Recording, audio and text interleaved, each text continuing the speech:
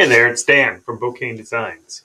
In today's video, I'm going to show you how to use SiteGround, Site Tools, File Manager to upload, download, zip, and unzip files. Um, when you first log into SiteGround and go to your Site Tools, you can either click on File Manager over here, or on the left sidebar, you can click on Site and then go to File Manager. And this is similar to cPanel. It's going to show you um, the server level, uh, server folders for your website. Um, in this case, we have a brand new site, so there's nothing in here other than the SiteGround default file. Um, but if we wanted to upload something from our computer, we could click Upload File, and that'll bring up your typical selection tool, and you can pick something from your computer.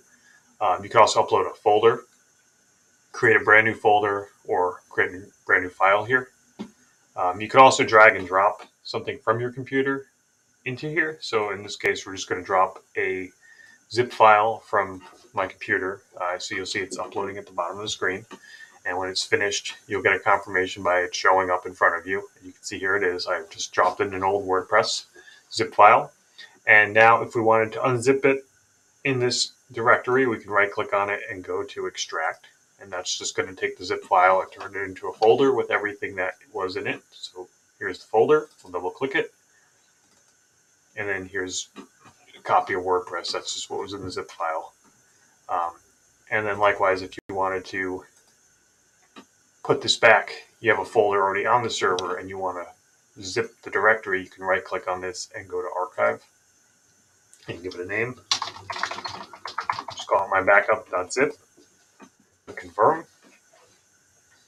And then here's the zip folder of that, or here's the zip file of that folder, and you can right click on it and click download and save it to your computer.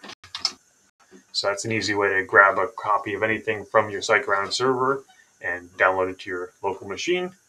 Easy way to back things up.